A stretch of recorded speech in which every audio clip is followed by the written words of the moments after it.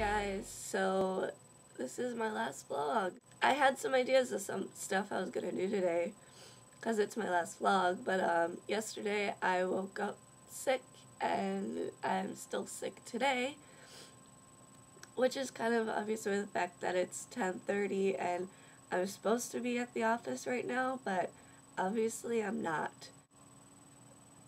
I feel so horrible right now. I just want to crawl back in bed.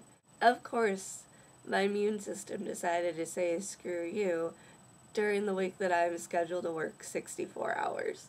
I really don't want to go to work tonight, but I have to do shoe reset, and it's an 8 hour shift, and I have to close, and there are so many things against me staying home tonight, even though I really, really want to, because I feel like crap. So that said, given the number of hours I've been working this week and the fact that I'm sick, I can't really do anything to show you guys where I live. Um, I'll put in some pictures from around my apartment building that I took so you, it's at least something. I thought I had more pictures, but apparently I don't.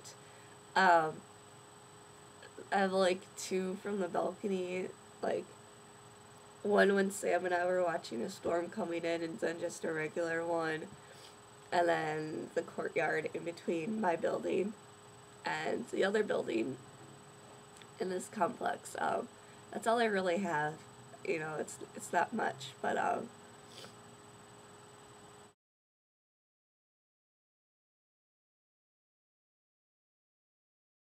So, I don't. God, my eyes look so puffy.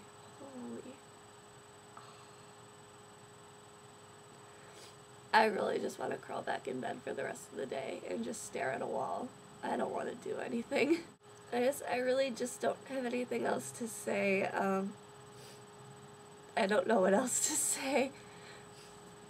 I, uh, it's been fun doing the vlog. It's, you know, I never talk online, so it's it's been a change of things.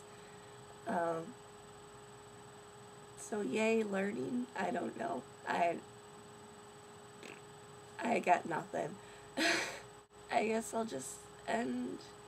I hope everyone has fun continuing the vlog. I'm sure whoever you have to replace me will be much more entertaining and interesting than me because my life is very boring and uh, I never know what to say. So I hope you guys all have fun. Um, I'm gonna hopefully get over this cold really quickly because I'm probably gonna have 30 plus hours for the rest of the month maybe at Shopko. So